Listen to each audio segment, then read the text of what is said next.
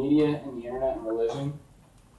Um, so just a little bit of background. If you were to look at the internet and religion 50 years ago, it'd be drastically different because the internet was started 51 years ago, or the idea was started 51 years ago um, by Intel, which if you guys are uh, sophomores, you have this little blue sticker on your Chromebook, probably.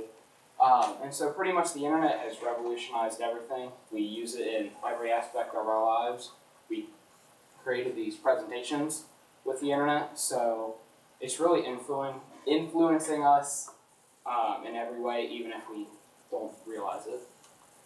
Um, so how I decided my research question, and my research question is, how does social media and the internet impact religion? And I came up with this research question after reading and examining the Edward Kessler article. It was source A. And he talked a lot about how social media and religion were working together and they were kind of coercing with each other with interfaith dialogue and they were talking, like talking to each other. Um, and then throughout the whole stimulus packet, there was a clear uh, theme of change.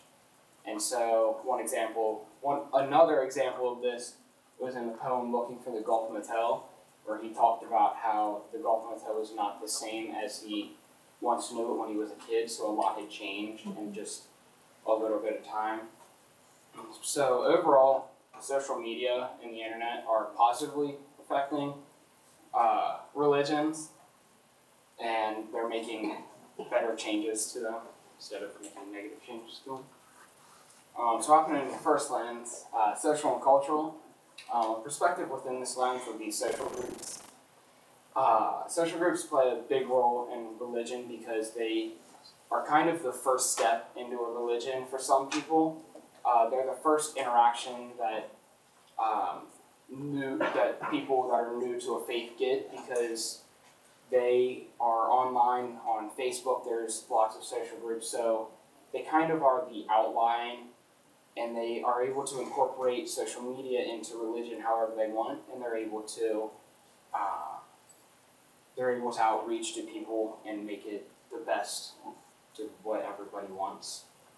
Um, and then CEOs of big internet companies are big factors in um, religion. It might not seem like it, but they are because 30,000 searches a month are for um, different religious ideas and they're looking for different things. So these um, CEOs of companies are allowing religious things to be put on their websites. They're uh, allowing all of this religion to be out there and they're playing a big role because the people are able to incorporate it however they want into their faith. Um, so a solution to the negative interactions is that everybody on social media talks positive about the faiths and everything, but unfortunately that's impossible because there's always going to be negative Nancy's in the world. There's always going to be people that oppose your view, and you can't have people all think and do the same thing uh, the same way because that's just not how the world works. That's just how humans were made. Um, but there is a way that if we talked more positive and you didn't bash other religions and you didn't talk negative about other faiths of what people believe, then it will uh, increase the ways of uh, religions being. I'm sorry, uh, the way that religions are.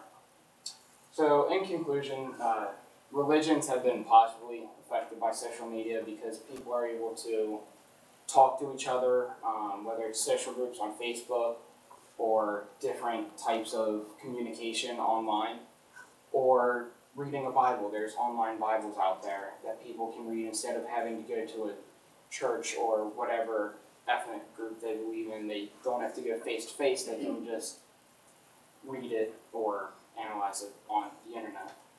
Um, but whenever you're using social media and talking about religions, uh, you always want to be using a positive mindset, mindset, and have good intentions because you never know what you're going to influence or uh, who you're going to make a change to. So, image citations and my works.